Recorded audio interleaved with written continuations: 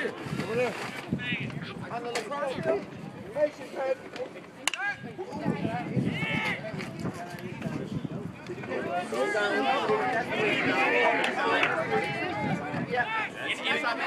That's a baby boy.